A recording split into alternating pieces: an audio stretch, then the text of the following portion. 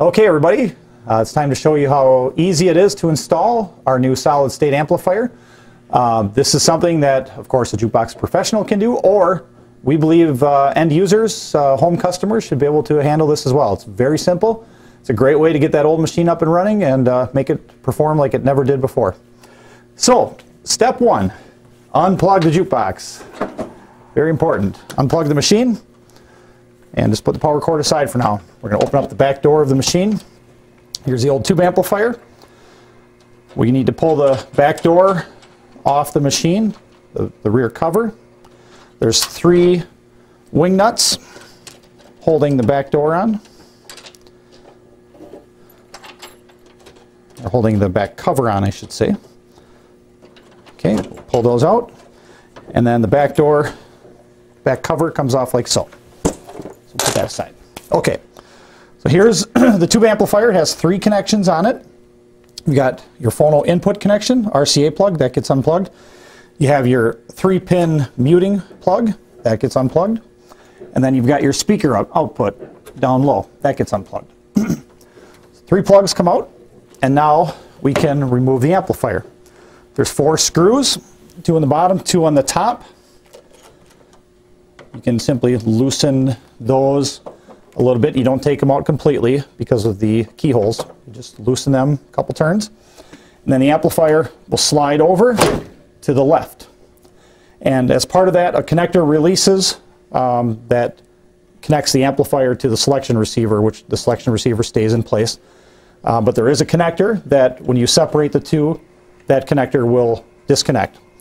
So after that's done, the amplifier can just simply be lifted out and put aside. At this point, the tube amplifier, you can put it on the shelf, do whatever you want with it. Um, but uh, if you ever want to return the machine back to uh, tube, ampli tube amplification for some reason, you certainly can. But now it's time to install the new solid state amplifier. So again, same shape, same mounting. Um, the power cord, the new power cord, we just set it inside the machine for right now. Slide it in place over the keyholes and slide it over to the right. Tighten down the four screws.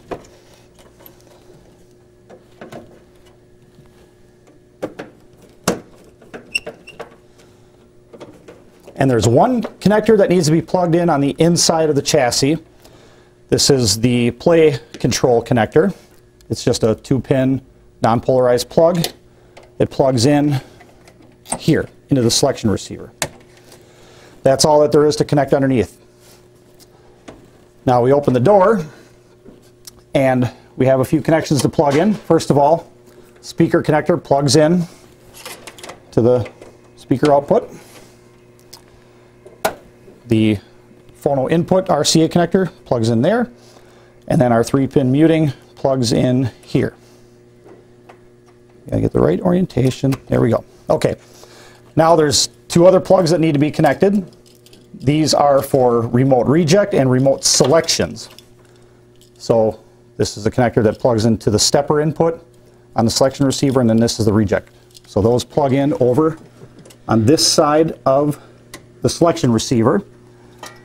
One pin there, one plug there, one plug here. And now our power cord, we can route that out the machine, out the back of the machine. So this goes through the slot in the door. And then the original power cord, the one that used to go to the wall, we reel that back in. We pull that inside the machine, set it in the bottom, and that gets plugged into the jukebox power jack on the amplifier. And so from here on forward, the power switch on the back of the machine will remain on at all times because we're actually controlling the power through the amplifier. Now, um, we, at this point, we can put the rear cover back on. Just reverse the procedure. Drop this in place.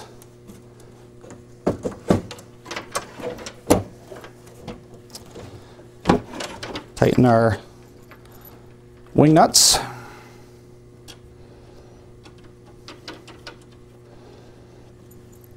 Carriage bolts in here.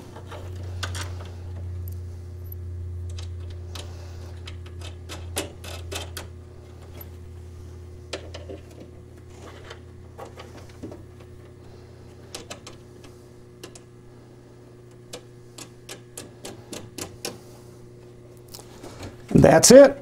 Our solid state amplifier is installed. And the last thing to do is to connect the new wired remote control that's included with the amplifier. This is a magnetic mount, so it sticks right to the back of the machine. And it simply connects through the back door using a small modular connector. Just simply clips in, and that's it, ready to go. In our next video, we'll show you how the system works, how to operate it, and everything it does.